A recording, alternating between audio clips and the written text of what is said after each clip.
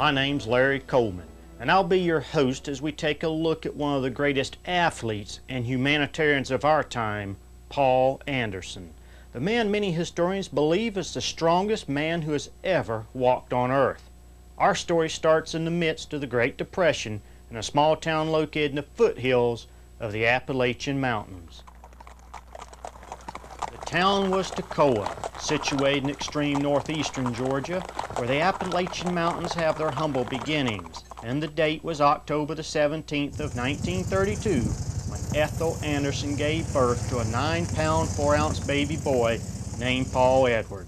For Bob and Ethel, this was their second child, giving their daughter Dot a little brother.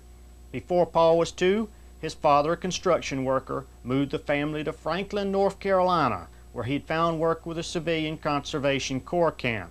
And by age six, they had moved to Murphy, North Carolina, where Bob Anderson began work with the Tennessee Valley Authority.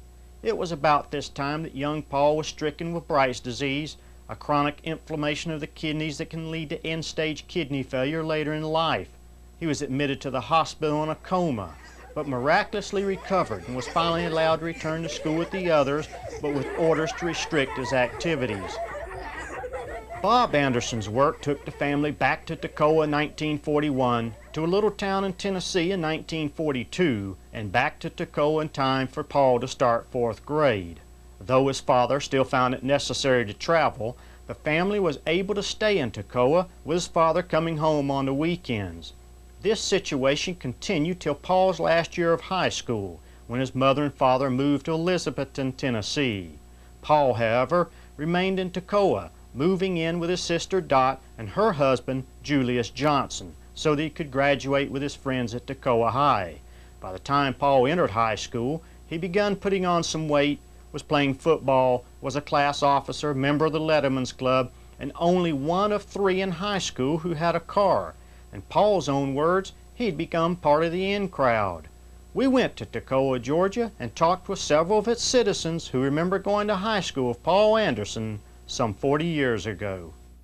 Paul weighed 175 or 80 pounds in about the eighth grade. He was uh, always around high school. I know he was uh, our last year in school. He was the fastest man on our team as far as uh, running in a sprint or a dash. He weighed about 195 pounds when he was about 17, 16, 17 years old. Uh, we ran the single wing and uh, Paul was a guard up until the senior year, and they moved him to blocking back. And I played center. And uh, on defense, Paul played guard, but he was uh, he was the heart and soul of our football team. As far as uh, he was real good in anything he went at, but he was his uh, he played fair, but he was real tough well thought of, and he was always jolly and happy. I never seen him mad. I didn't want to see him mad, to tell you the truth. He was always uh, real friendly with everybody, everybody's friend. But in high school, I would say that uh, I remember Paul for the most part. In football, the amazing thing was, uh, and right or wrong, this is the memory that I have, was that uh, his size came rather rapidly during those years. And what I do remember was with his size was the tremendous agility and speed that he had. I can remember on sprints that Paul was one of the ones always out front and across the line first. And uh, yet with that tremendous size and uh, power that he had. It was an amazing situation. As far as the way I remember Paul, not, probably not the loudest one around, nor was he the quietest. Personality-wise, likable. Uh, high school generally, everybody belongs to a clique here or there or whatever, but as I remember, he, Paul was pretty well liked by all, and uh, his personality was very open, warm problem with Paul in football was that he was small, played in the line. I was a back and supposed to be pretty fast. But Paul was too quick. He was a lot faster than most of the backs, and so we didn't want to run wind sprints against him. You'd try to get him off on somebody else. But when Paul was in school, I would not have picked him to be the strongest man in the world. I knew that he had some speed and strength, but um, Paul was not unusually big. He began to grow um, in 46, 47, I think it was, when we first started putting the uniform on him, and uh, he looked just about like some of the smaller members of the team. And only in his senior year did he begin to, uh, his uh, features began to show a lot of strength and all coming to him. So I think that when I would look at him, I would might have recognized he had some talents and some other abilities, but I would not have put him to go from there. But I believe that perhaps he took what uh, nature had, or what the Lord maybe had given him to work with, and uh, built on it and came across it from there, rather than it being obviously a gift. He he developed a lot of it from there. So it was not obvious when we were in school that he was going to be what he turned out to be as far as his strength goes. Though most in the small town remember Paul as being much stronger than anyone else in high school, and thus is nicknamed Little Atlas, no one remembers ever thinking that he might develop into the strongest man on earth. Surprising also was that most remembered how fast and agile the big boy was while playing football during his last two years at Toccoa High. Others noticed the young boy's athletic skills, including Furman University, who promptly offered Paul a football scholarship. So the young lad from Toccoa packed his bags and traveled to Greenville, South Carolina, where he entered the small college. Before the school year was over, however, Paul left Furman and returned to stay with his parents in Elizabethton, Tennessee. Some say that the college, though they fed their athletes well, were unable to satisfy Paul's appetite but Paul has stated that he become bored with school and football and had gone back home to rethink what he wanted to do. Though Paul had lifted weights in high school and college with the other athletes, no one remembers Paul seriously training with weights. Most just remember the young man as one of the boys. All this would change, however, shortly after leaving Furman and returning to Elizabethton to stay with his parents. The first written acknowledgement of Paul Anderson, the weightlifter, came in the February 1952 issue of Iron Man magazine, written by Bob Peoples of Johnson City, Tennessee. Bob Peoples, a world-renowned weightlifter himself, held the national and world record in the deadlift for over 25 years, a record he had set in March of 1949 when at 180 pounds he deadlifted 725 and three quarter pounds. In the 1952 article, Peoples described how the 19-year-old Paul, who was living in nearby Elizabethton with his parents, arrived one day to meet the popular Peoples. Peoples took the lad downstairs into a cellar, where Peoples had built a makeshift weight room, a room Anderson thereafter referred to as the dungeon, because of its dark and gloomy appearance. Once in the cellar, the boyish Paul, wearing tennis shoes and using no supports or wraps, and without any warm-up, promptly squatted 550 pounds two times with relative ease. Peoples was astounded, for he knew that the world record was only around 575 pounds, and that record had been standing for 30 years. The 19-year-old Paul stood 5 feet 10 inches tall, weighed 275 pounds, and had a 21.5 inch neck, 20 inch arms, 50 inch chest, 42 inch waist, 33 inch thighs, and 19 inch calves. The 1952 article described Paul as a new strength discovery. Peoples, who still lives in the same house some 40 years later, vividly remembers the first time in the summer of 1952 that he met Paul Anderson. Well, a fellow named Bob Taylor met Paul Anderson when they moved to Elizabeth he brought him over and uh, and he was a he weighed about 260 at that time was about 19 years old. And uh, so we went down which later Paul named the dungeon and uh, to see what he could do. And I asked him what he wanted to do and he said he'd like to do a squat and he was good on that. And so I asked him how much weight he wanted and he said 500 pounds. I said, you want to warm up? He said, no, just load it up. And so I loaded it to 500 pounds, and he did it with all ease. He just uh, made a perfect squat all the way through, locked out at the bottom, and come back. And then we put 550 on it, and he did that with all ease. In the meantime, my wife came in, and I called her down and asked him to do it again for her, and which he did. He was getting close on all of them. I knew that he could break all the records if he wanted to, and he seemed to take a great interest in it and want to pursue it. And so he did right on through. And we put on a little exhibition in Johnson City when they opened a service station. and uh, he squatted with over 700 pounds. First meet for the young Paul was in September of 1952 in Philadelphia, Pennsylvania at the Mr. World contest. In the meet, Paul broke a world's record, but it was not officially recognized for Paul was not listed as a lifter and was only allowed to lift because he had driven so far to get there. Later, Paul participated in his first competitive lift in Chattanooga, Tennessee, and made lifting history when he promptly squatted 605, 635, and then 650 pounds with only a few moments rest between the lifts. When the 650 pounds was officially weighed, it proved to be 660 and one half pounds, the greatest weight that had ever been squatted by a human being. Paul Anderson, at 20 years of age, had broken the 30 year squatting record by over 60 pounds. In the same meet, the young lad, after only several months practicing the three Olympic lifts, totaled 800 pounds, breaking most of the existing Southern records. Those at the Chattanooga meet described as three Olympic lifts as phenomenal for so crude of style.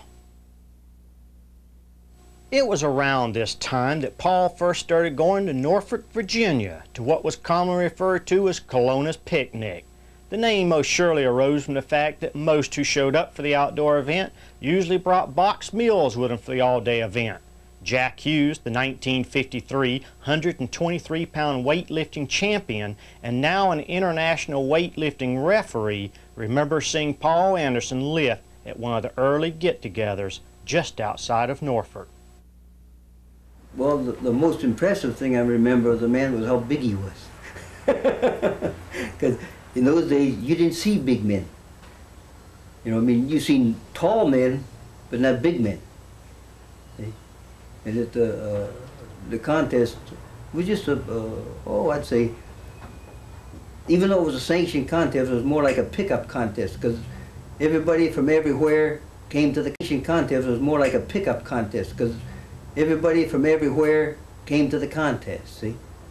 And uh, even the, from where I had to come from, it took us an all-day drive to get there without no freeways or nothing, you know?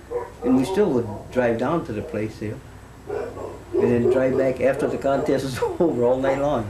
Anyway, uh, I can't even remember what the man lifted, but it was impressive because every time he lifted, everybody's brother stopped talking or whatever to watch the man lift because they'd never seen uh, this heavy of a weight lifted before by any individual, see. And he was just beginning then, see. He'd never, he wasn't a national champion yet, see. Was a terrific man, see. By July of 1953, Paul had moved his squat up to over 762 pounds, some 97 pounds more than any other human. Two months later, at the All Dixie meet again in Chattanooga, he pressed 352 pounds for a national record. In October of 1953, the first movie footage ever taken of Paul Anderson was taken at an international meet held in Montreal, Canada, where he took first place, setting a new Canadian Open record. Paul Anderson of the USA lifts 330 pounds on his first try at a body weight of 310.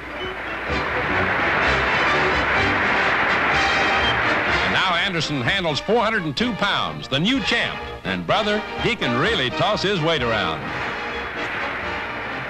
A month later, he traveled to York, Pennsylvania, where he set a new world record total of 1,065 pounds in the three Olympic lifts, beating a record that had taken dozens of years for eight-time world and Olympic champion John Davis to achieve. By now, he was squatting with 820 pounds, more than 200 pounds better than world champion Doug Hepburn of Canada. In addition, he had increased his body weight to 300 pounds, with 21 inch arms, 16 inch forearms, 23 inch neck, 58 inch chest, and 34 inch thighs. 1954 proved disastrous for Paul when he injured his leg while working out with a 3,500 pound safe he'd been using in a hip lift to build overall strength. Apparently, Paul had lifted the safe many times in the past, but late one evening strained himself trying to pull the massive safe, only to find out later the safe had frozen to the ground. Later, he broke his wrist in Indianapolis while trying for a new world record, and then, as a passenger in a friend's car, broke several ribs and injured his hip when the vehicle ran off the road and smashed into a tree. Determined to not be slowed, Paul rebuilt the cast on his arm using steel supports and a rod that could be used to pull or push the weights so that he could continue working out. On February the 12th of 1955 in Washington, D.C., Paul Anderson reappeared on the scene and promptly put together history's first 1,100 pound total. Two months later, in April, at High Point YMCA in North Carolina, Paul performed the world's first official 400 pound press, pressing a barbell weighing 402 and a quarter pounds, with what witnesses later described as ridiculously easy, breaking the old record by more than 15 pounds. His total at the end of the day was a phenomenal 1,142 and a half pounds, 68 pounds in excess of the official world record. Herb Glossbrenner of Los Angeles, California, a world champions lifter and highly renowned and respected powerlifting statistician who has been a national sports writer for the last 30 years, recounts where he first saw Paul Anderson.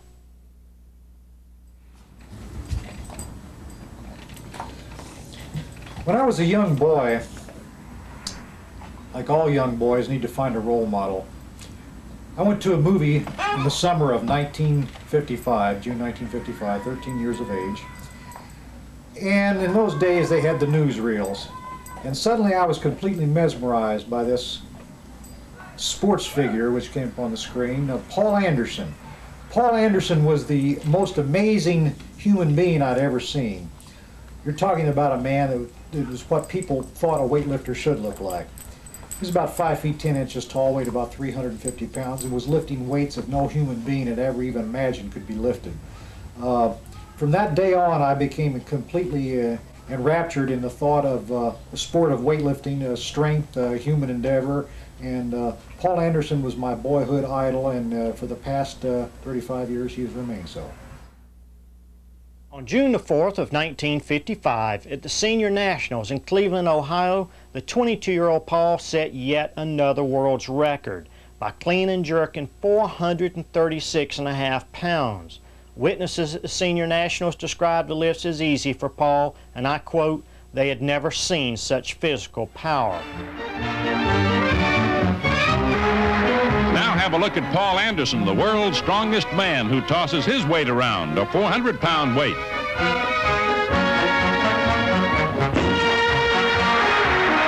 Nice going, Paul. What do you think about 435 pounds? Hmm. Paul strong arms his way to a new world's record, 436 and a half pounds, and brother, he really gets a lift out of it.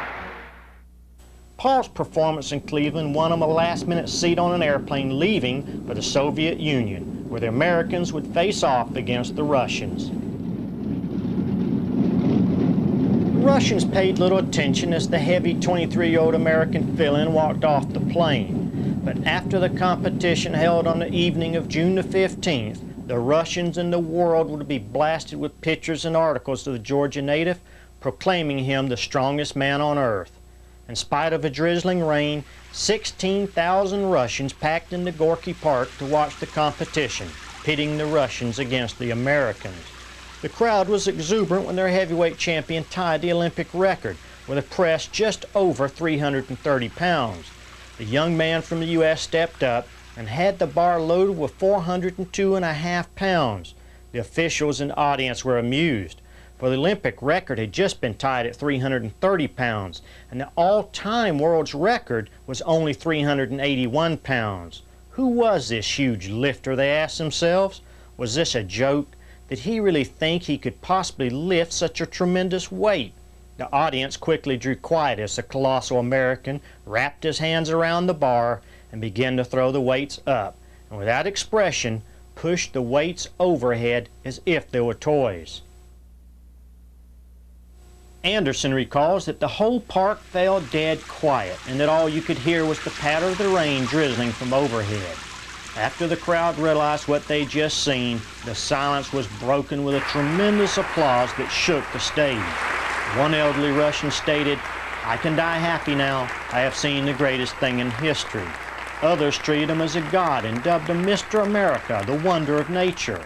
The young man from Toccoa, Georgia, after only some 36 months of competitive lifting, had just broken the world record by 22 pounds, the biggest margin in history. Some Russians responded that the American's record should not be counted, for they insisted he was not a normal person. His imposing 340 pound figure, that now sported a 23 and a half inch neck, 22 and a quarter inch arms, 58 inch chest, 47 inch waist, and 36 inch thighs, coupled with the ease with which he lifted the world record weights, left more than the Russians awestruck. For what people were seeing was a raw power such as had never been seen before, and what many people believe will never be seen again. To this day, the Russians hold high respect for the man who at Gorky Park set the new world record. Bob Hise of Los Angeles, California, an outstanding lifter in the 40s and founder of Maverick Barbell Company, the American Weightlifting Association, and founder and editor of the publication International Olympic Lifter, traveled to Russia in 1975 for the World Weightlifting Championships. Mr. Hise described to us how the Russians, some 20 years later, were still paying great tribute to the American lifter from Georgia. Then I went to the World Weightlifting Championships in 75 in Moscow. And they held the World Championships in an ice rink. And it was a kind of a, uh, not a round, an oval shape. And uh, all around the outside or the corridor went all the way around this uh, ice rink and they had pictures of famous weightlifters everywhere. American lifters and uh, uh, French lifters and German lifters and English and Egyptians. But Paul Anderson was the idol. I counted 144 pictures in this display of Paul Anderson they, they were very uh, impressed with him, and of course the pictures the picture signified that's what they thought of him, and they have always uh, honored and and uh, felt that uh, extreme strength was uh, a very great asset in a human being. Back home, Paul had become a hero. A hero many say came along just at the right time for the United States, and a hero the little town of Toccoa took great pride in claiming as heirs. Paul's return to the States after his Russian competition resulted in the townspeople of Toccoa driving to Atlanta to meet their hero as he came off the plane. When the caravan of vehicles arrived at the airport, however, they waited only to discover Paul had missed the flight. Ironically, stepping off the plane only to discover a disappointed crowd was Bob Hope. Hope did, however, take time to chat with the children before everyone returned to Toccoa empty-handed.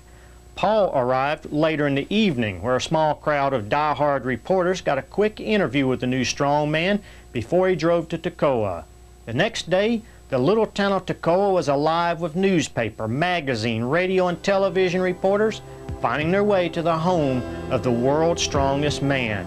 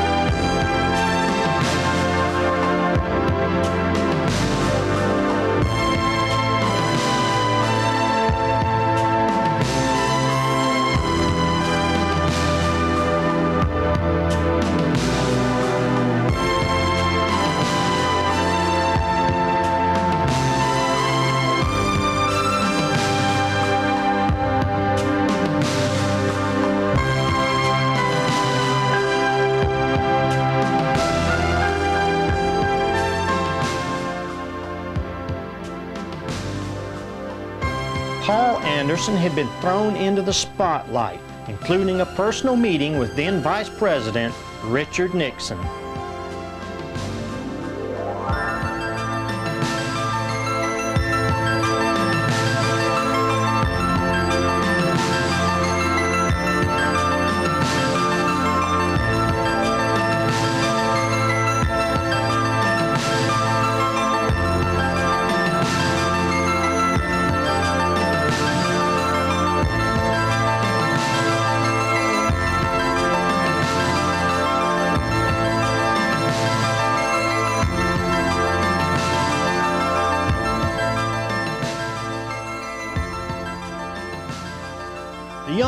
Georgia continued through 1955, setting new world records in lifting competitions held overseas as part of an American and U.S. Goodwill Ambassadors team. During the overseas trips, Paul continued to devastate records, like in Munich, Germany, where he set a new world's record press of 409 pounds and a new world's record total of 1,129 and a half pounds. The press record stood for 10 years.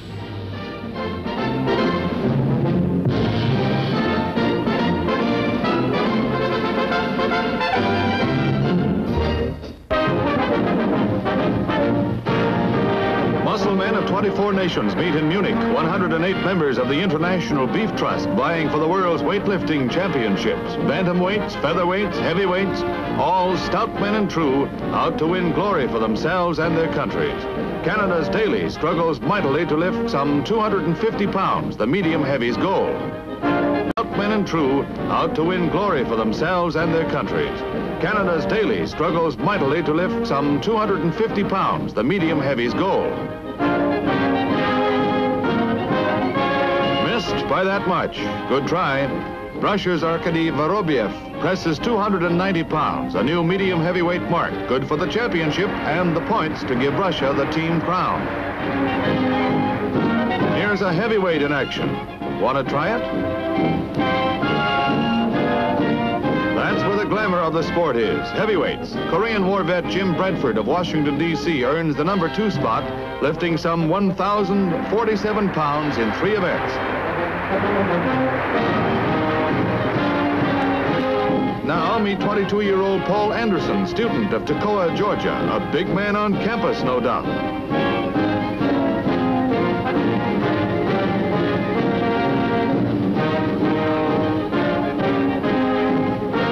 That's that, a fantastic total of 1,030 pounds, 410 in the press alone for the World's Championship.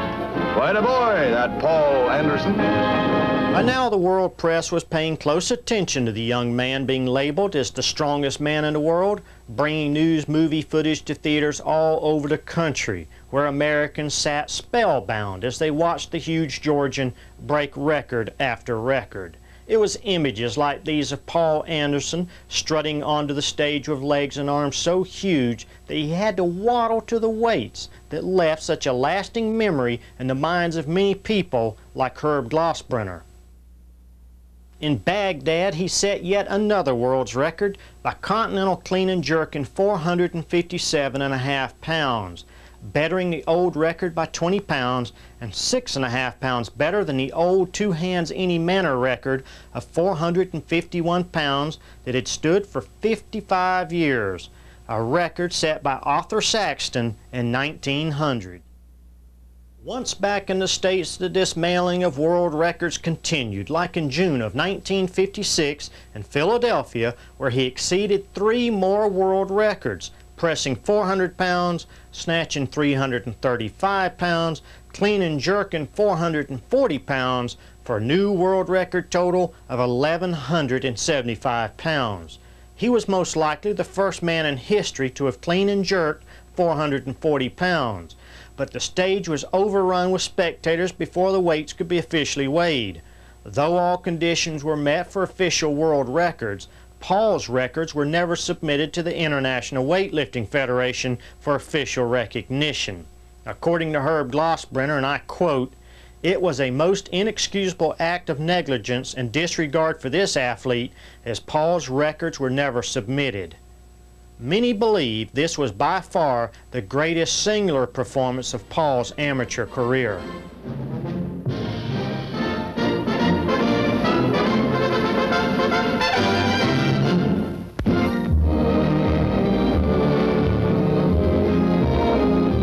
nation's strongmen draw a small throng to the University of Pennsylvania in Philadelphia for the National Senior Weightlifting Championships. It's hard work, Another contender tries and barely gets it off the floor. It's risky work, too. Chuck Vinci of York, Pennsylvania, defending title holder in the bantamweight class, lifted a combined total of 690 pounds in the three events to retain his crown. Fourth place in the Bantam Bruisers went to Dave Moyer of Reading, PA. Dave's been doing this for some time.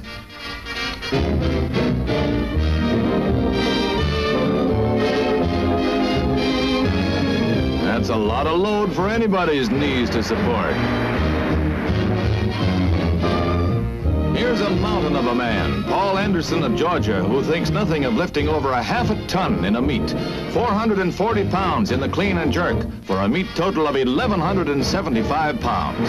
Paul weighs 320 himself. Two new world records for Paul Anderson of Toccoa, Georgia. What a man!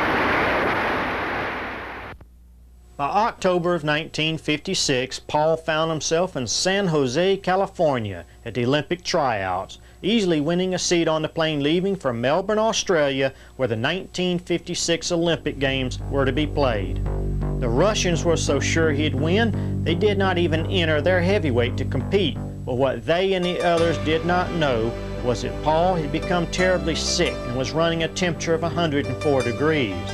According to his own accounts in his autobiography, he began taking four aspirin every three hours without the tending physician's knowledge, was able to bring his temperature down enough that the doctors allowed him to enter the competition. Despite having lost some 40 pounds and being off balance from the sickness, Paul brought a gold medal back to the United States. Paul Anderson is the last American heavyweight lifter to ever win a gold medal in the Olympic Games for the United States.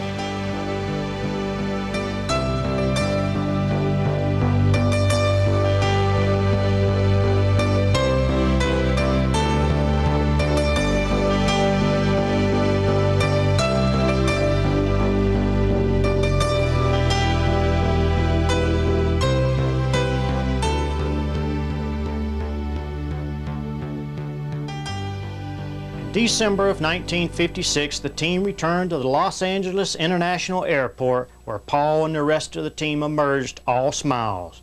For Paul Anderson, this would be the last time he'd speak to a large gathering as an amateur athlete. The first members of America's Olympic team arrive in exuberant return home. Gold medalist weightlifters Anderson and Vinci gagging up, the lightweight on top. Oarsman Jack Kelly lost as Russia swept the point scores. But in basketball, Big Bill Russell starred. Weightlifting, heavyweight Paul Anderson led the U.S. contingent. And in track and field, America dominated with 32 gold medals in all. Among the winners, Glenn Davis and Greg Bell. Tom Courtney, Charlie Dumas, Bob Richards. Parry O'Brien greeted by his family. Fine sportsmen all, win or lose. Not long after returning home from the Olympics, Paul turned professional, accepting an offer to appear on The Ed Sullivan Show. Reflecting back on his decision, Paul stated in his autobiography, and I quote, these ventures altered my status from amateur to professional, which opened many doors for me to pursue fame and fortune as one of history's best known professional strongmen. It was good to be free of the restrictions, and I had no more amateur ambitions anyway. There was no sense in preparing for the 1960 Olympics if it meant four years of poverty. After only four years of competitive lifting, including the disastrous year of 1954, where Paul was plagued with injuries, the young man had established a phenomenal 18 American and 9 world records. As an amateur, he retired as world, Olympic, and twice USA national champion. As a professional, he tried his hands at wrestling, boxing, and even the movies, but he never felt comfortable with any of these ventures.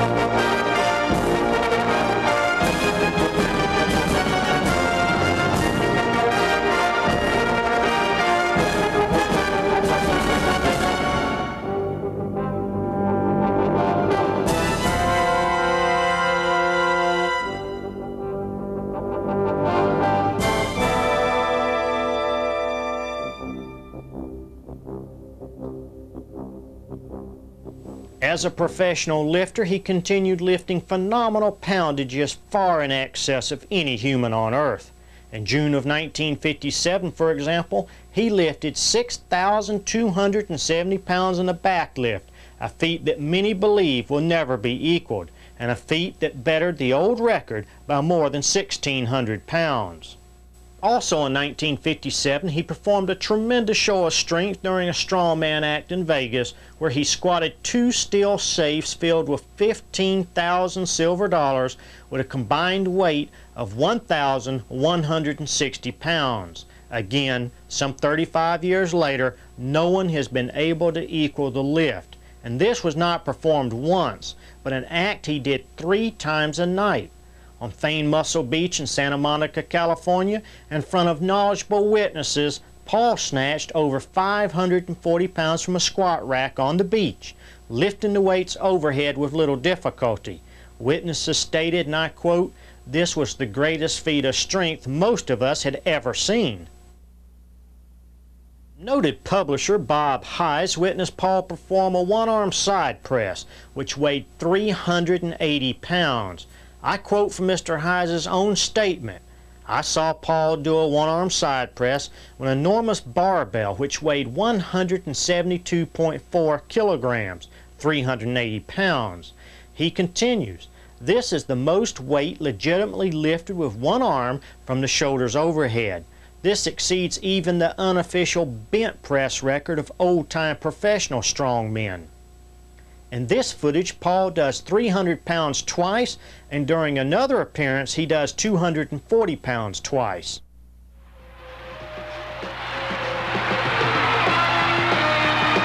Here the world's strongest man is lifting a 300-pound dumbbell, not just one time, but twice.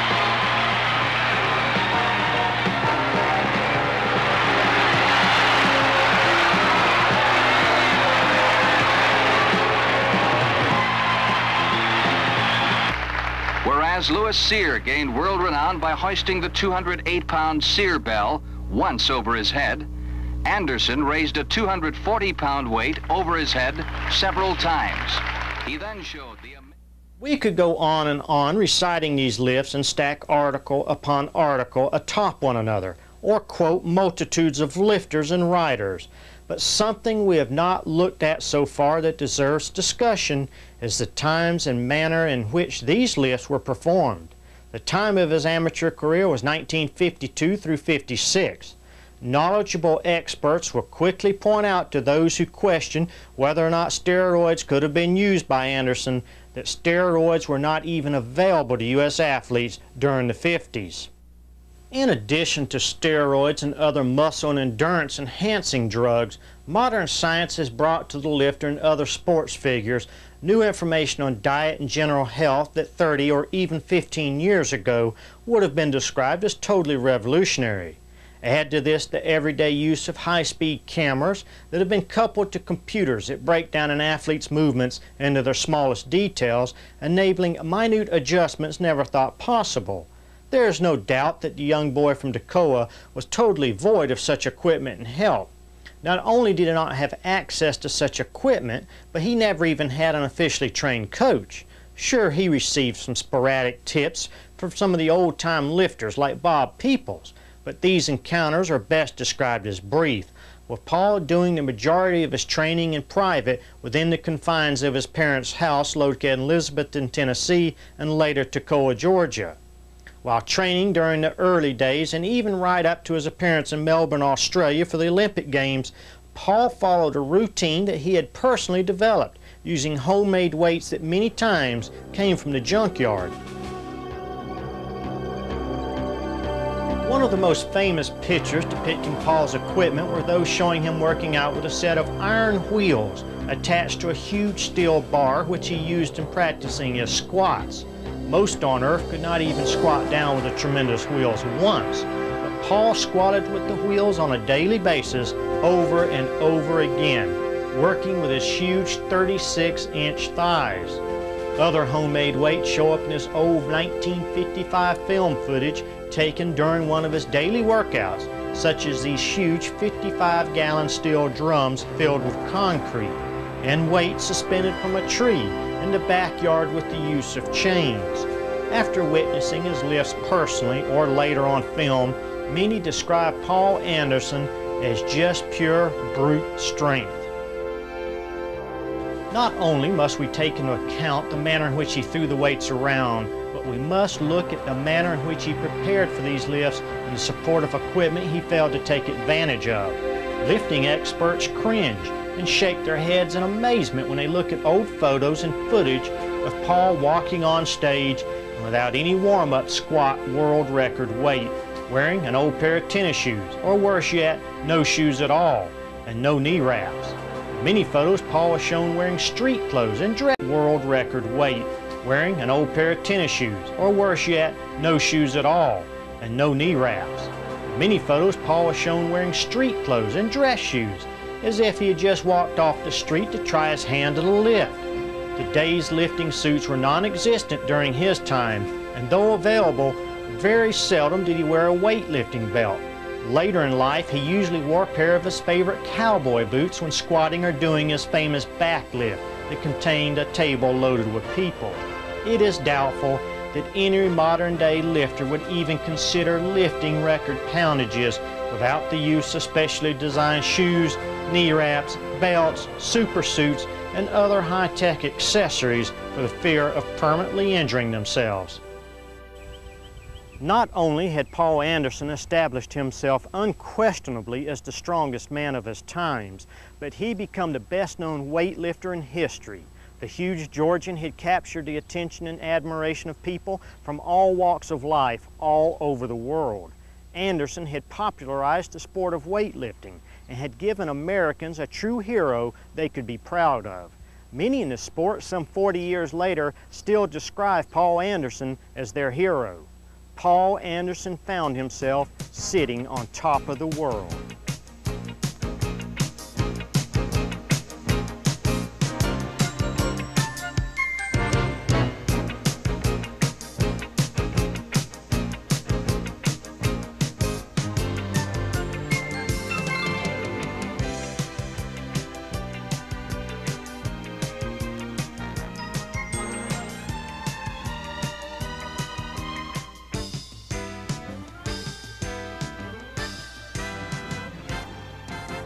September of 1959, Paul Anderson married the former Glenda Garland of Toccoa, Georgia. Within 20 months, Paul and Glenda were living out of a tiny motel room on the outskirts of the small rural southeastern town of Vidalia, Georgia. Newspapers throughout the country reporting that the strongest man in the world was giving up his professional wrestling career and other ventures in order to establish a home that would help handicapped, troubled, and homeless children. Though it is doubtful we'll ever fully comprehend what led Paul and Glenda to the small town of Vidalia, we do know that an event took place during Paul's Olympic gold medal performance in Melbourne, Australia that would change his life forever. As we told you earlier, Paul had become terribly sick during his Melbourne trip and had been barely able to compete. What we did not tell you was that Paul began doubting whether he could even finish the competition. The strongest man in the world realized that he was also one of the weakest and began trying to pray. But as Paul stated in his autobiography, he was unable to pray, for his heart had grown cold from years of ignoring God. Facing certain defeat, Paul finally opened his heart to the Lord and promised he would become part of his kingdom. This event certainly altered Paul Anderson's life forever, for the strongest man on earth had just realized that his strength meant nothing without his accepting the love of Jesus Christ. As Paul would describe to his audiences later, he was the strongest man on earth, but he could not go one day without Jesus Christ. Let us listen to Paul's own words of what happened that day. I got up and walked on because I knew somehow I was not getting through. I didn't know how to pray. I didn't know how to reach God. I didn't know the zip code, the area code, the number to dial. I didn't know Jesus Christ. Walked back to the stage, took the weight once again. Just had to go through this thing to show I was trying. I knew I couldn't make it, but I did get it to my chest again. Stood there, the greatest burden I've ever felt. I knew I couldn't move it, couldn't get it overhead. Desperation, I prayed. Two men, I must wait until a desperate moment to pray. And I waited and I prayed. I don't know what I said verbatim, but I said something like, God, you've given me much. I returned very little. You made me the strongest man in the world, and I could have used my witness. I said, Lord, no matter what happens here,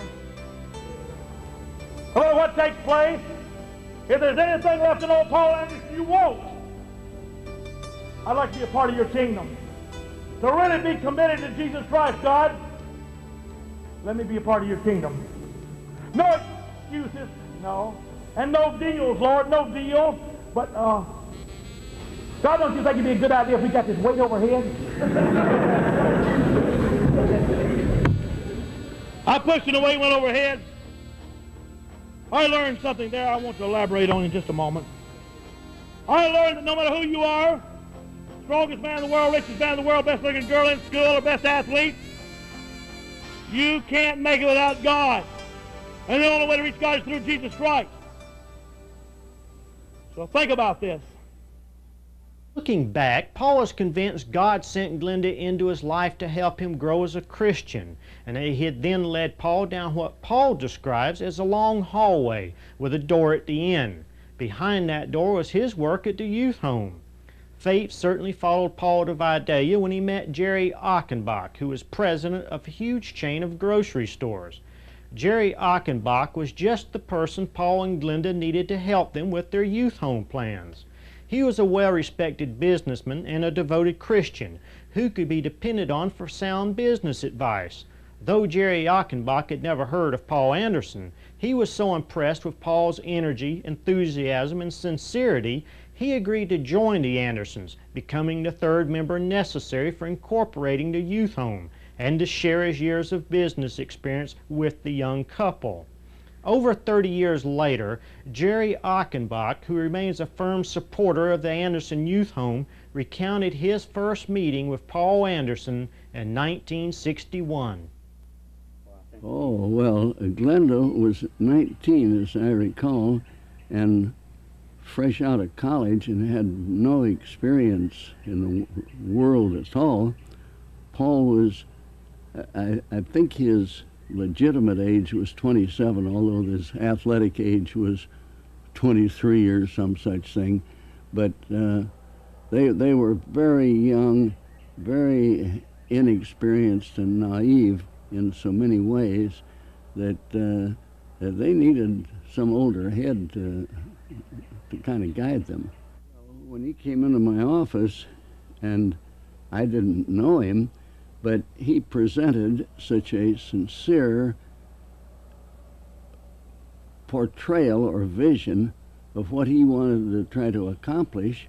I figured that if he was as sincere as he sounded, he needed help. For the next 20 years, Paul Anderson traveled extensively throughout the United States, appearing before as many as 500 audiences a year, raising money for the youth home as Glenda took care of the everyday duties at the home.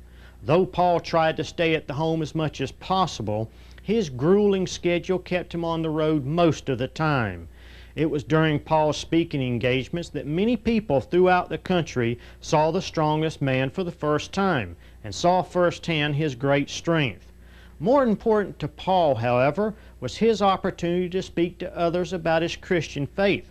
Whenever anyone mentioned seeing one of Paul's performances, they usually describe his squatting world record amounts of weight, lifting two and three hundred pound dumbbells overhead with one arm, holding 60 pound dumbbells out at arm's length with his little pinkies, or perhaps driving 10 penny nails through two befores with his bare hands. But they also mention his Christian values. In addition to helping those who came through the doors of his youth home, Paul Anderson was changing lives through his performances across the country.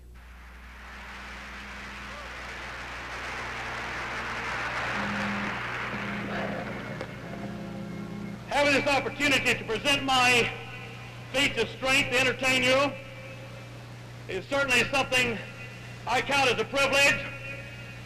But for the next two or three or five minutes, let me just say some things that are dear to my heart. I have many privileges I speak some 500 times a year and demonstrate my strength around the country and the world. I feel that my calling is to speak to young people, especially to demonstrate to them that it's not a sissy thing to be a Christian, to demonstrate to them that it's not old-fashioned to be a patriot, to embrace the basic principles of our land. I am a fortunate person. I'm a world and Olympic weightlifting champion. In other words, I am the very best in my chosen sport. It's a thrill to be an Olympic champion. When you win the Olympic Games, they put you up on a big pedestal, raise your flag, play your national anthem. A thrill. There are three and a half billion people on the face of the earth. They call me the strongest man in the world because I can lift over 6,000 pounds at one time, more than anyone else has ever lifted. Now these things I say not boasting. I'm saying these things to make a point. Yes, it's a thrilling thing to be an Olympic champion called the strongest man in the world, but the greatest thrill in my life is being a Christian. Having the opportunity to stand up, witness for Jesus Christ. Now, friends, don't misinterpret what I'm saying. The greatest thing, yes, because God giving his son is the greatest thing that ever happened in the universe. So, if he lives in my heart, why, it's the greatest thing in my life. And I want to shout about it. You know what kind of bothers me sometimes? Clod kickers. You know, people that stand up and say, oh, Christian, I'm not ashamed, Jesus Christ, all that mess. You should holler about it. And let me leave you with this thought. And I will not qualify the statement. I don't have time. But I am called the strongest man in the world. But I could not get through one day without Jesus Christ. So if Paul Anderson, more strength than anyone else around, has got to have God through his son Jesus Christ, the guidance of the Holy Spirit, you don't have him, you're not making it at all. I used to think I was making it, but I couldn't make it for sure through one day without Jesus Christ. Thank and God bless you. Retired Air Force General Dick Abel, who has served as past president of the Fellowship of Christian Athletes and U.S. Olympic Committee, recounts Paul Anderson's performance years ago at the United States Air Force Academy where General Abel was serving as assistant coach. And then he took a 10 penny nail. Now, some of you ladies aren't carpenters, but that, that's 10 nails to a pound and he put the head of it in his hand, the palm of his hand, with the nail sticking out like this, and he had two one inch boards there, and he go, whoa, through both boards. Well, I have to tell you right then, I said, if he's selling used cars, I'm going to buy one. I have never seen anything like that. And then he talked about winning the gold medal at the Olympics, about having it hung on his neck and the flag raised behind him and the national anthem played. He said, I've never been so proud to be an American. But the greatest thrill in my life is to know Jesus Christ as my personal Savior. Ladies and gentlemen, here's a man that can walk down any alley in America. He had a 24 inch neck. I mean, who is going to mess with him? And yet, the greatest thrill in his life was to know Jesus Christ. He said this I'm the strongest man in the world, and I need Jesus Christ. Don't you think you do too? Lives were changed. In the mid 1960s, Pat Williams invited Paul Anderson to speak before one of his baseball games, while Williams was president and general manager of the Spartanburg, South Carolina Phillies, in the hopes of drawing in bigger crowds to the games.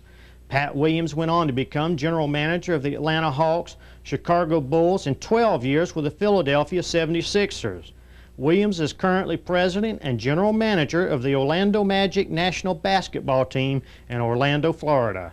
And then, then one other thing I want to share with you uh, that, that has hit me, that Paul has impacted my life deeply, and that is um, Uh, it was through Paul Anderson primarily uh, that I became a Christian.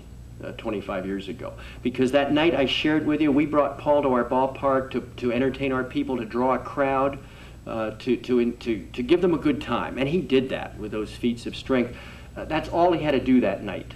All he had to do was go back to his big Oldsmobile and head back to Vidalia that night.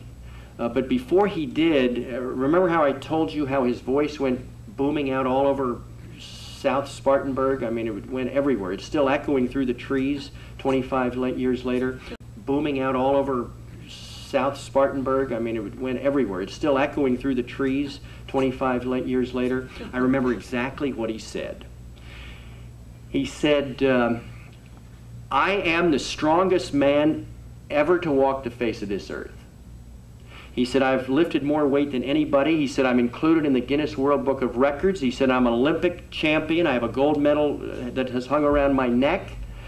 He said, people throughout the Soviet Union have called me a wonder of nature. And I was crouched over here, kind of holding my breath because I didn't know him all that well. And I said, boy, what a conceited guy we brought here tonight. You know, what's he going to do next? And he said, I want you to know all of these things that have happened in my life are secondary in my life. He said, the most important thing in my life is my Christian faith. And then before he left, he said to those people this night, this isn't a ballpark. I mean, this is before it's kind of, there was no baseball chapel or football chapel then. This was radical. And Paul said, if I'm the strongest man in the world and I can't get through one minute of my life without Jesus Christ as the centerpiece of my life, he said, How about the rest of you? And that was it. He walked off the field and he got a standing ovation. Many who saw Paul Anderson at their school or church were small children at the time. R.B. LeGrune was one such child who some 30 years later vividly remembers seeing the strongest man on earth. For the first time, I saw Paul Anderson at East End Elementary School that's in Greenwood, South Carolina, around the year 1963. I guess I was probably about 11 years old at that time. Uh, I guess the most amazing thing to me was the mere fact when we first originally saw Paul. Uh, personally, I didn't think he could lift anything, you know, being honest with you. However, he proved us all wrong. As a child, you know, we, we tend to look through the small glass, so to speak, and he proceeded to the stage where they had the heavy, heavy weight. And he proceeded to squat to lift the weight up. And he came all the way up, and all of the kids' eyes got big. You know, it was amazing. It was truly amazing. And then he went from there too, after he, you know, rested for about, I guess, five or ten minutes or so, uh, to I, what I call the headbutt with the blocks. And uh, he just busted his head, and the eyes got big again. You know, it was amazing again, you know. And then from there to the nail drive with the you know, with his hand through the board. And uh, it was just, to me, incredible. I, I truly enjoyed that. I go. Uh, not by face, I don't think as much as by size. If someone will say, well, who is the fellow there? And I say, oh, man, that's Paul Anderson, weightlifter, he's big. And uh, it just different. I, my response has to do with the response of the person who, who would recognize me. And as a rule, someone comes up, are you Paul Anderson? And uh, yes, and and uh, I love to be recognized naturally, and because all athletes do, especially old athletes. but uh, I would uh, cringe then just a little bit because they say, "Are you Paul Anderson?" Yes, and then they're going to say, uh, "How much can you lift?" And I've heard that 10 million times. So it's real refreshing if someone comes up and says, uh, you're Paul Anderson, yes. Well, you know, I saw you uh, here, there, and the other, and I really enjoyed your Christian witness. And I appreciate that. And, and that's one of the greatest things there is about being recognized. I've always been taught that everything we have comes from God, and even before I was a committed Christian, I, uh, I knew these things. And so I knew God had given me the strength and given me the ability because other people were as big as I was, even though I was a huge person. Other people had worked as hard, but I had the ability to build the strength. God had given me something special. So uh, I have uh, never been a humble person as far as, you know, the clod kicker is, uh, man, and uh, this, that, and the other. I've always had the confidence and always felt that I could accomplish anything, but always uh, knew where any accomplishment I made came from, from Almighty God. Uh, being a patriot and speaking on patriotism a great deal, and being a Christian, sometimes I am asked, uh, do the two things conflict? Uh, being very uh, patriotic to your country and, of course, loyal to God, because it's the God of the whole world. And of course, my feeling on this and my answer to this is the fact that um, we've got to be loyal. You've got to be loyal to something. Uh, I always say that I, I think a great deal of Paul Anderson. In fact, I just love Paul Anderson. And loving Paul Anderson, I can love other people. And I love my country. I love the United States of America. And loving America, I can love other countries. If I if I would look down on my country and say that I was well, you know, like some would say today, be a citizen of the world, well, you still you're not really loyal to anything. So I think that I can uh, love peoples of other lands because I love my land and uh, have uh, nothing to uh, be insecure about. Over the years, the youth home has had numerous changes and setbacks, but one thing that has remained constant is the home's dedication to the boys and its tremendous success. Their formula? Love, hard work and discipline, and the teaching of Christian values. How successful have they been? We searched out several of the graduates of the home, as well as several of those who believe in the home so much that they are willing to donate their time and money so that the Paul Anderson Youth Home can continue for years to come serving those in need of help. Our first interview was with Mr. and Mrs. Stuart Thompson, whose son Jim arrived at the Paul Anderson Youth Home in the back seat of a police car.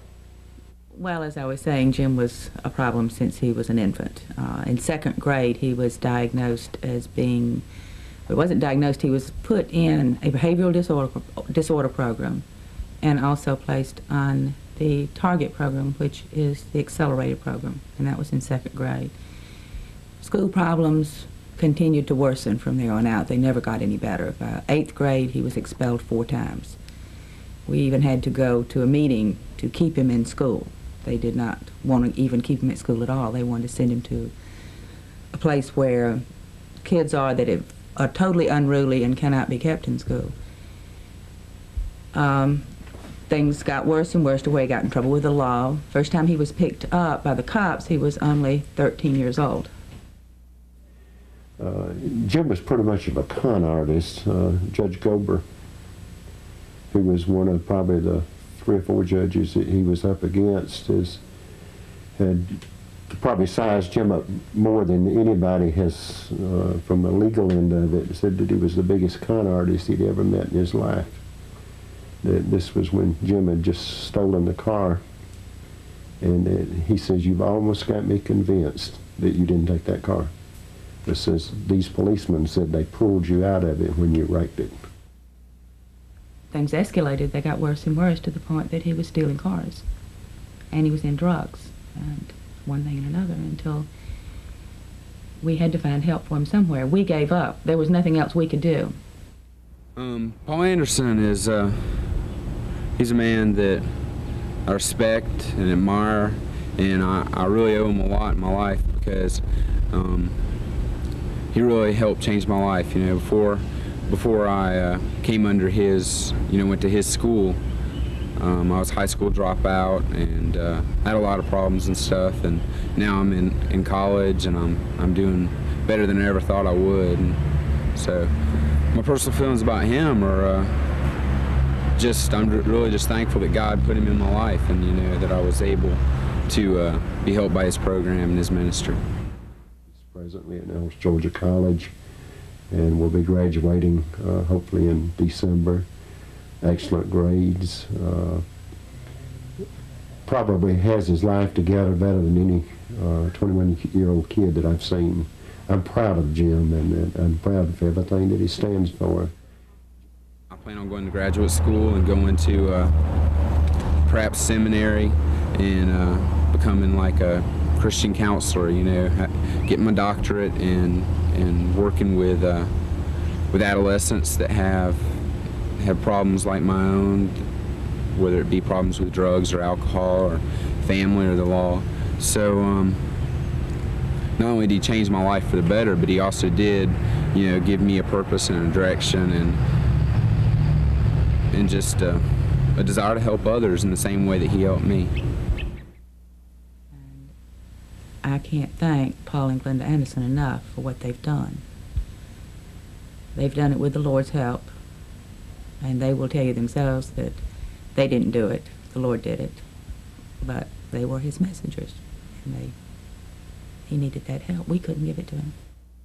Jim and I were probably the worst of enemies, and uh, we both let each other know that we really hated each other, and there was no secret about it.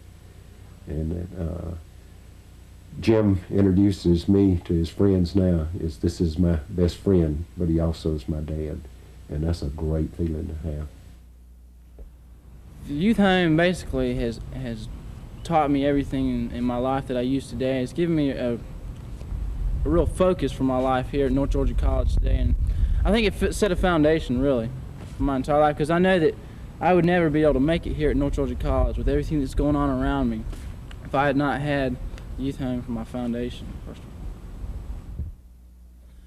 Paul Anderson, I feel like it was through him the Lord Jesus was really able to have a chance to work in my life, and it was through him that I had opportunity uh, to accept Christ into my life, and through him that that he put the staff there and the people that are there that that changed my life today. Really. I didn't see Paul for the first month I was at the youth home and it sort of gotten acclimated to the way things were. But when Paul did uh, eventually get a chance to talk to me, there was such a profound impact by the man um, and what he said that I, I still remember that day to this day and will take that day with me for the rest of my life. Just the, the spiritualness, um, the self-confidence, the um, there are just so many words that are in the English language that you can't describe it with. Uh, that day will always just be be one of the best days in my life, you might want to say. He gives you such a, he comes across in such a way, uh, especially with, with the younger men, that he has an influence on, and he has such a strong influence on those people. When five minutes of meeting the man, your life has totally changed um, for the better. I, I can't say anything bad about Paul Anderson. Paul Anderson always gave you the right things to, to say. He always had the right answer. Uh, and I think that goes back to his closeness with with the Lord and and the, that that in itself you can just see that radiating out of the man. I've had the opportunity that a lot of the students at the home now don't have. I got to play football with Paul on Sundays. We had touch football games. And I saw the strongest man in the world be the most gentle person that you could ever imagine possible. I do remember the first time I did something wrong and I uh, was asked to bend over and grab my ankles and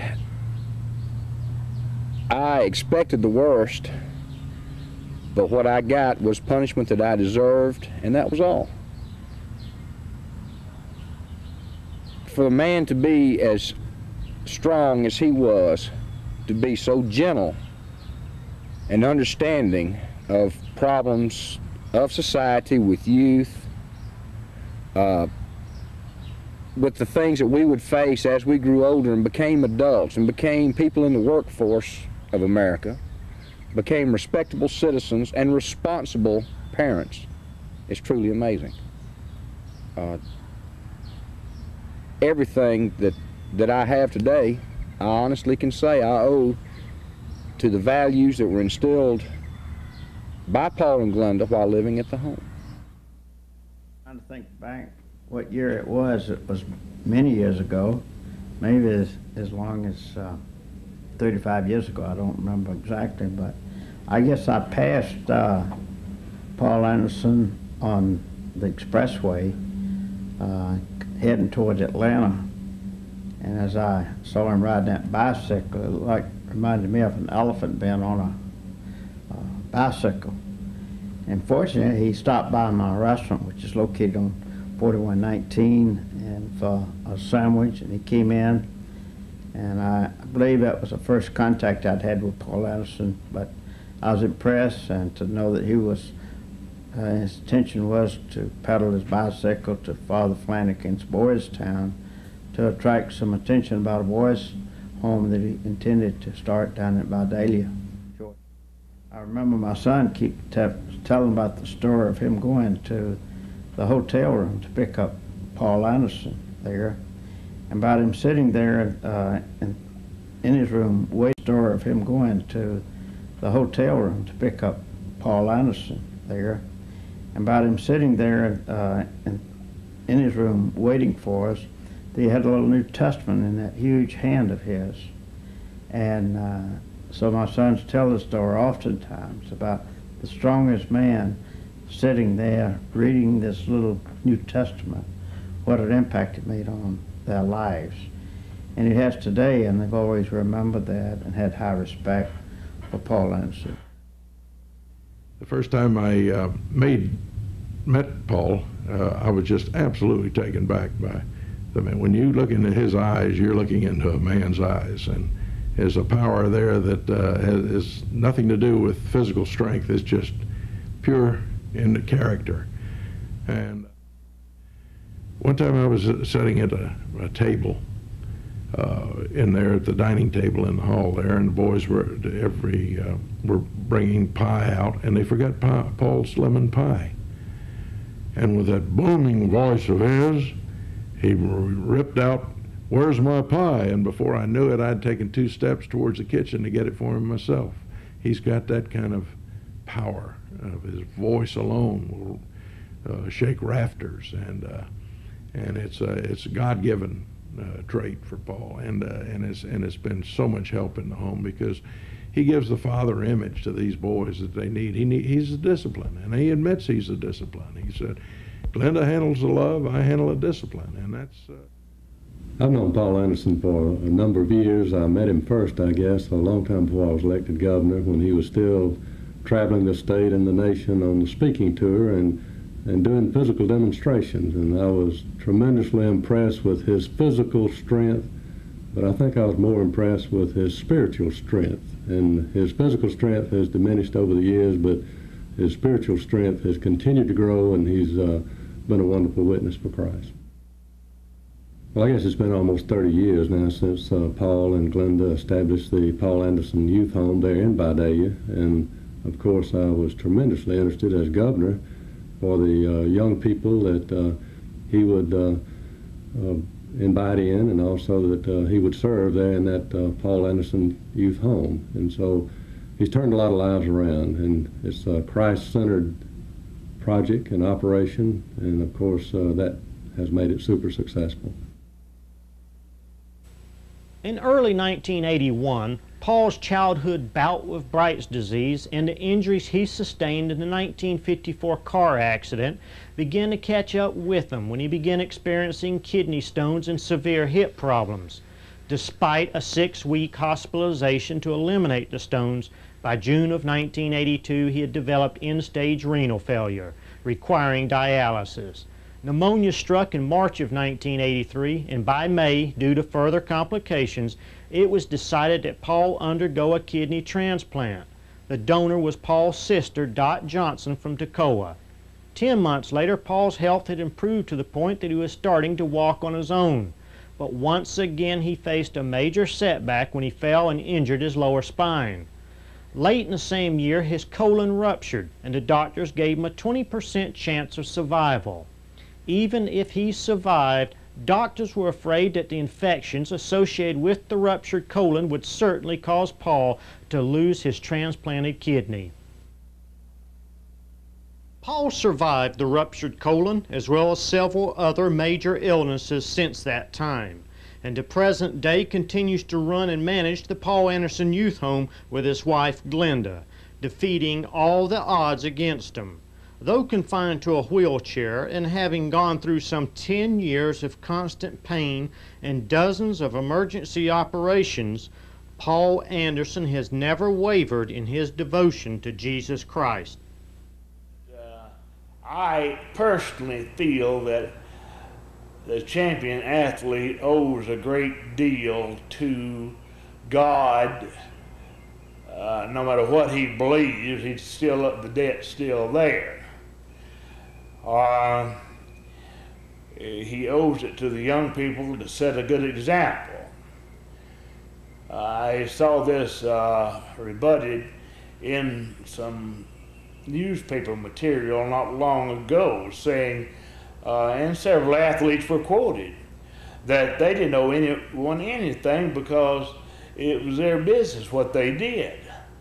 Well, I just don't agree with that because when uh, you're given a gift, why it's being it should be used for something. I mean, it should be used to lead in the right direction because the doors are open wide, just as the Bible tells us, and and the door is even open wider, uh, and uh, and wider and wider, the more uh, uh famous you get for uh, at being a good athlete. In February of 1992, two weeks after having emergency surgery, Paul Anderson was flown into Orlando, Florida, where he was recognized as the strongest man of the century. According to Tom Ciola, the promoter of the first Power and Strength Symposium ever held, there was never any question who should receive the award. We asked those interviewed throughout the country if they agreed with the symposium's choice. This is how they responded If you could compare Anderson in his day with the, the well, let's call it scientific knowledge that they had then compared to what scientific knowledge they have now in the way of lifting weights, uh, nobody's going to come near the man. Nobody. Because he just, like people always say, he was ahead of his time. If he had the knowledge that they have nowadays, in the way of lifting, uh, man, they'd they'd never come close to it. Never. Uh, definitely in shoulder strength and leg strength, he had to be the strongest of all time. And as I say, comparing him to someone with more technical skills today in the clean and jerk, it would be very difficult to do that. But uh, I don't know of anyone that has squatted with more weight, and I've never heard of anyone that's uh, any closer, any very closely approached his uh, push pressing 600 pounds. And not only once, but he did it three reps. Okay, when it comes to discussing who the uh, strongest man of all time might be, uh, Paul Anderson has to be at the top of the list because uh, the things he did early in his career before powerlifting was even organized, some of those records still stand to, to today. And uh, they've never been exceeded, and he doesn't have the advantage of the technique, the, uh, the equipment, and so forth that modern lifters use. So, uh, particularly in, in terms of squatting, he's in a category by himself. He just can't be uh, compared to anybody. So, when people ask me, who the strongest man of all time is, I answer without any hesitation whatsoever, Paul Anderson. Just to give you an idea how some of the other notables in the iron game feel, let me read you a few experts. The late Harry B. Paschall, managing editor of Strength and Health magazine, called Paul Anderson the strongest man that ever lived. Jim McCarty, who is the only current elite in the 80s in both powerlifting and weightlifting, says that Paul Anderson was the greatest athletic strongman for his body weight that ever lived.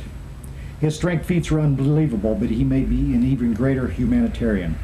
Charles Frazier, writer for Muscle and Fitness magazine, said Paul Anderson is beyond doubt the strongest human being in world history.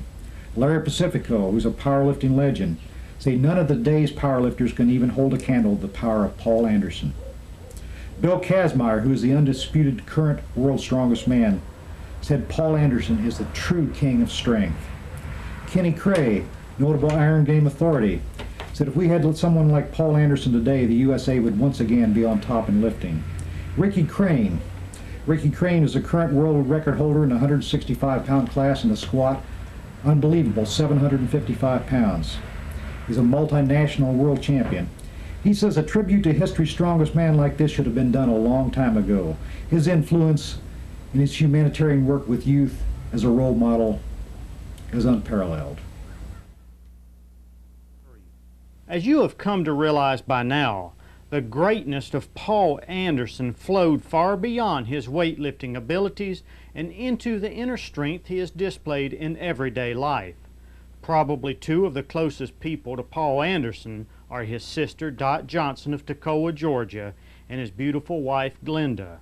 Let us listen to their feelings concerning the strongest man on earth.